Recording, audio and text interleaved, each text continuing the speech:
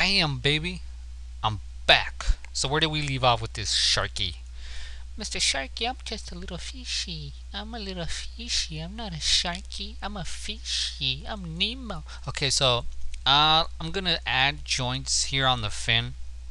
So up here and then maybe this one and probably this one and I'll leave the head for the next tutorial. So next thing I want to show you is how to adjust joints. So a lot of you guys will probably grab some of this stuff and like I told you you can probably move some of these like this. That's that's okay if you just want to move it like this and you know maybe stretch it out a little bit if you had to adjust it. Um, usually I think that's fine. If I show you the orientation so select hierarchy go to that, that script show axis you want to make sure that you're always looking at your axis here right? Make sure X is always pointing at the other joint. So if I grab this joint watch this other one here the orientation. If I move it up watch it update when I release. Boom. You see how that X is still pointing up at this? You want to make sure that that's happening. But look at how this moves everything right let's say you just wanted to move the joint by itself like you just wanted to grab this little sphere right there and move it up without affecting all the rest of the joints. So in order to do that you can select the joint and holding or no you can press insert. I believe in a uh, on a Mac you press the home key. Alright if that doesn't work there's a, a shortcut key for that is you hold down D make sure you have the move tool W and then you hold down D and watch what's going to happen. I'm going to do this on the side view. I'm going to hold down D, D as in David. Yeah, that's my name. Check it out. You can move just that joint. You can adjust it. But watch this. I'm going to give you a little example here. By doing D or doing the insert pivot, by doing insert, you can do it that way too. Insert. Uh, notice that we just moved that little joint there without affecting the rest of the joints. But if you look at this joint over here, look at the axis, the, the uh, joint orientation is still looking at where that other joint used to be. You see that the X here, that little line is still pointing this way. So that's wrong. And then look at this joint down here. X supposed to be pointing at the next joint. So it should be going up this way, but it's not. So if you want to adjust things with the insert key, you can definitely adjust it, but make sure you use the script to realign everything again. So I, I would select everything and then do the orient joints. So X, aim axis, Y, and Y. Orient joints and now look what happened here. You can see that this joint now it's pointing at this joint and this joint. You see that little X? Is pointing up back at this joint. So that's very important. You want to keep that in mind if you want to adjust your joints. So holding down get your move tool hold down D as in David. Yeah and then you can adjust it. And then just do a orient joint on that one, do an orient joint on this one. And then now you can move your your joints like that. Alright, so that's very useful. I'm going to undo all of this. Alright, so that's how you can adjust joints if you had to, okay? Um, now what if you want to add joints? Now let's say I want to grab this one. Let's say I, I didn't want that joint there. Uh, before I get into adding joints, let's just let's do delete first. So let's say I wanted to I wanted to just get rid of that joint right there. You might be thinking okay just press delete. Look at what happened. It broke your rig right? So you don't want to do that. Undo. You go to skeleton and then down here you'll see remove joint. So when you do that notice that we got rid of that joint that used to be here and it and this joint automatically connected back to this one. So that's a very useful uh, little tool here to remove joints alright? So let me undo that. Well actually no let me show you now how to add joints. So if you want to add a joint uh, I believe you select a joint. Let me try it without selecting. You go to skeleton you'll see down here insert joint tool. Click on it and then you'll your cursor will, will it's going to turn into like this little cross. And then just click. You see that we got that new joint popped out of this other joint over here? Just click and drag where you want it. And then now you have a new joint there. So it doesn't matter uh, where you want the joint just go to skeleton insert joint click on the joint where you want it and then you can drag one out.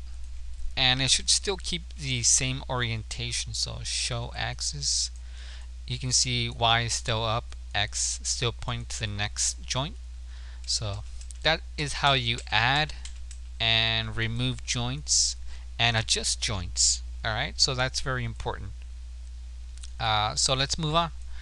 I'm gonna add the fin joint right now up here so to add joints uh, make sure you remember in my other video tutorials you go to my tutorials here on this little button here. So go to animationmethods.com and then you go to my tutorials and if you scroll down here you'll see this says parenting join so you click on this little icon here and you're gonna get this video. That's gonna show you how to parent joints which is what we're gonna do right now. So on my side viewport just create another joint about here sort of in the middle. One right here about in the middle and then one right at the tip. And then you might be thinking okay so if I select the root well the root is over here. Let me hide the orientations. So I might you might be like okay all I have to do is grab the root and then move the shark and then you see this one is not moving so when you're creating a rig you always have to connect all of your joints back to the main uh, rig here that we're working with. So to do that you just select the child.